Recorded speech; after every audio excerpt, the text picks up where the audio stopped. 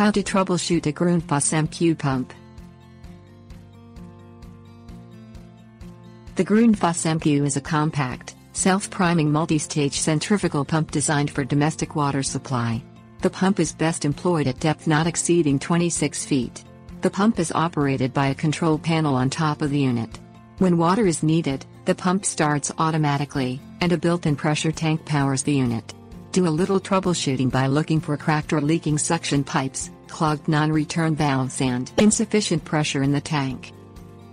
Check the water supply suction pipe for damage or obstructions, if the pump does not start. Run a supply of cold water through the pump, if the unit does not start due to overheating.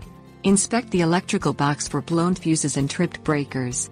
Ensure that the top point of the discharge pipe and the pump does not exceed 50 feet. The pump could be in an alarm condition. Reset the unit by pressing the on-slash-off button once. Press the button one more time to start the pump. Check the pipework for leaks or damage, if the pump will not stop running. Repair the pipework as necessary. Inspect the non-return valve for blockages. Clean a valve as needed.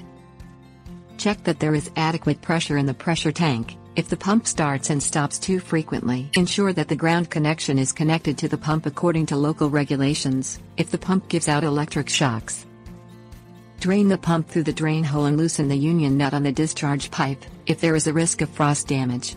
Fill the pump with liquid before starting it again. Clean or replace the internal non-return valve, if the pump starts when no water is consumed. Have a service technician install a new valve. Tips Warnings The Grundfos MQ is resistant to sunlight and is suitable for indoor and outdoor installation. For inspection and service, allow minimum clearance of 60 inches behind the pump. The pump is self-cooling and requires no ventilation at the sides. When the red indicator light is on, the pump is on standby.